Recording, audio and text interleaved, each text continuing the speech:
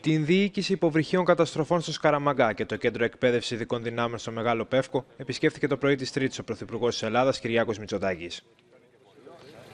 Αρχικά, ο Έλληνας Πρωθυπουργός παρακολούθησε τους εννέα τελειόφοιτους της σειράς 197-198 της σχολής ΟΙΚ να ασκούνται σε στίβο μάχης. Ο κ. Μητσοτάκης επισήμανε ότι τόσο η κυβέρνηση όσο και ο ίδιος προσωπικά στέκονται πάντα αρρωγοί στο έργο των ενόπλων δυνάμεων. Ισχυρές ένοπλες δυνάμεις θωρακίζουν την εθνική μας ανεξαρτησία. Προστατεύουν τα κυριαρχικά μας δικαιώματα και την εθνική κυριαρχία και αποτελούν αναγκαία προπόθεση ελευθερίας και ευημερίας, ήταν το μήνυμά του. Στη συνέχεια, ο Κυριάκος Μητσοτάκης επιβιβάστηκε σε σκάφος ανορθόδοξου πολέμου και ταχείας μεταφοράς Έολος και κατευθύνθηκε στο κέντρο εκπαίδευσης ειδικών δυνάμεων.